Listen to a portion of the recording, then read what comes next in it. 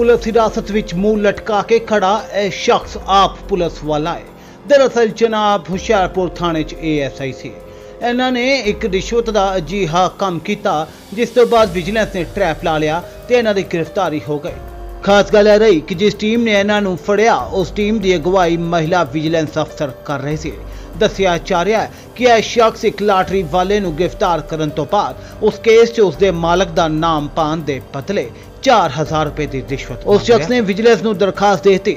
ਫਿਰ ਕਿਸੇ ਟਰੈਪ ਲਾਇਆ ਗਿਆ। ਤੇ ਰੰਗੇ ਹੱਥ 4000 ਰੁਪਏ ਲੈਂਦੇ ਇਸ ਸ਼ਖਸ ਨੂੰ ਗ੍ਰਿਫਤਾਰ ਕੀਤਾ ਗਿਆ।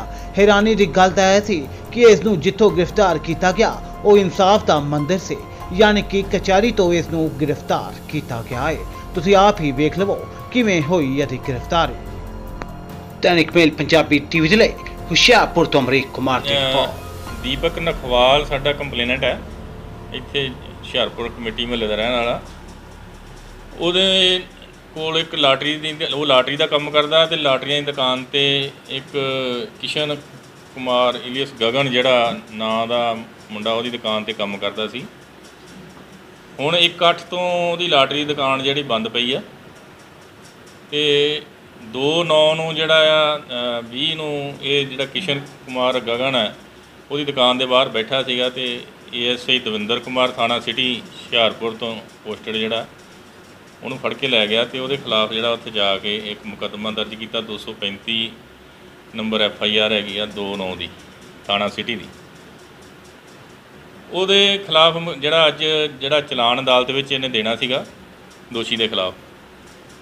ਤੇ ਉਹਦੇ ਜਿਹੜਾ ਇੱਕ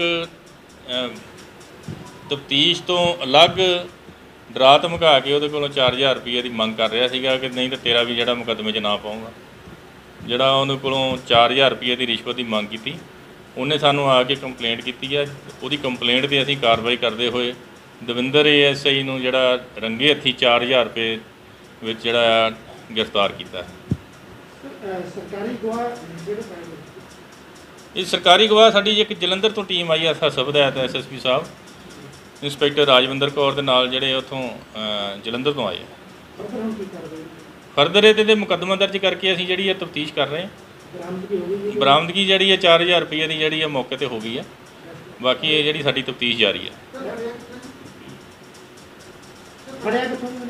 ਇਹ ਕਚਹਿਰੀ ਦੇ ਅੰਦਰ ਇਹਨੇ ਮੰਗ ਕੀਤੀ ਜਾਂ ਐਸਐਚਓ ਦਾ ਵਿੱਚ ਰੋਲ ਨਹੀਂ ਇਹਨੇ ਇਹਦੀ ਆਪਣੀ ਮੰਗ ਹੈਗੀ ਆ।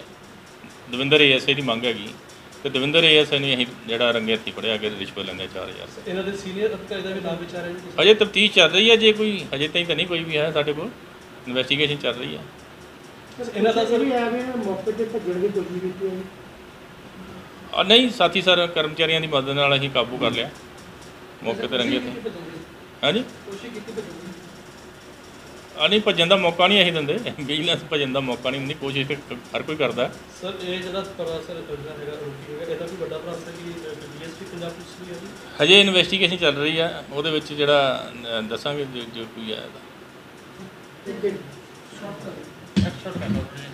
ਚਮਤਕਾਰ ਹੁੰਦੇ ਨੇ। ਦੇਖੋ ਆਪਣੀਆਂ ਅੱਖਾਂ ਸਾਹਮਣੇ। 3 ਘੰਟੇ 'ਚ ਹਰ ਪਰੇਸ਼ਾਨੀ ਦਾ ਹੱਲ ਪਾਓ। ਸੱਤ ਇਲਮਾਂ ਦੇ ਮਾਹਿਰ ਦਿਵਾਂਸ਼ੂ ਜੋਸ਼ੀ। ਮੇਰੇ ਕੀਤੇ ਨੂੰ ਕੋਈ ਕੱਟ ਨਹੀਂ ਸਕਦਾ। ਕੱਟਣ ਵਾਲੇ ਨੂੰ ਮੂੰਹ ਮੰਗਿਆ ਇਨਾਮ। ਪਰੇਸ਼ਾਨੀ ਜਿਵੇਂ ਮਨਚਾਹਾ ਪਿਆਰ ਪਤੀ ਪਤਨੀ ਚੰਬਨ ਕਾਲੇ ਜਾਦੂ ਦਾ ਖਾਤਮਾ ਬਿਮਾਰੀ ਦਵਾ ਨਾ ਲੱਗਣਾ ਵਸ਼ੀਕਰਨ ਕਰਵਾਓ ਜਿਸ ਨੂੰ ਚਾਹੇ ਉਸ ਨੂੰ ਆਪਣੇ ਵਸ 'ਚ ਕਰੋ ਲਾਟਰੀ ਨੰਬਰ ਪਾਓ ਭਾਵੇਂ 649 ਹੋਵੇ ਜਾਂ ਲੋਟੋ ਮੈਕਸ ਧੋਖੇਬਾਜ਼ ਪ੍ਰੇਮੀ ਪ੍ਰੇਮਿਕਾ ਸੌਤਨ ਦੁਸ਼ਮਣ ਨੂੰ ਆਪਣੀਆਂ ਅੱਖਾਂ ਸਾਹਮਣੇ ਤੜਫਦਾ ਵੇਖੋ 7082844950 Pandit M K Sharma fees ਨਹੀਂ ਇਨਾਮ ਲਵਾਂਗਾ ਧੋਖਾ ਨਹੀਂ ਕੰਮ ਕਰਾਂਗਾ ਮਾਤਾ ਰਾਣੀ ਨੇ ਚਾਹਿਆ ਤਾਂ ਖੂਨ ਦੇ ਹੰਝੂ ਨਹੀਂ ਆਉਣ ਦੇਵਾਂਗਾ। ਪੰਡਿਤ ਮੌਲਵੀ ਤੋਂ ਵਿਸ਼ਵਾਸ ਖੋ ਚੁੱਕੇ ਇੱਕ ਵਾਰ ਜ਼ਰੂਰ ਅਜ਼ਮਾਓ। ਪੰਡਿਤ ਐਮ ਕੇ ਸ਼ਰਮਾ, ਪ੍ਰੇਮੀ ਪ੍ਰੇਮਿਕਾ ਨੂੰ ਮਿਲਾਉਣਾ, ਸੋਤਨ ਦੁਸ਼ਮਣ ਤੋਂ ਛੁਟਕਾਰਾ, ਵਿਦੇਸ਼ ਯਾਤਰਾ 'ਚ ਰੁਕਾਵਟ ਮਾਤਾ ਪਿਤਾ ਨੂੰ ਮਨਾਉਣਾ। ਇੱਕ ਵਾਰ ਮਿਲਾਓ ਫੋਨ ਤੇ ਜ਼ਰੂਰ ਅਜ਼ਮਾਓ ਆਪਣੀ ਕਿਸਮਤ। ਕਰੋ ਸੰਪਰਕ 9773 95956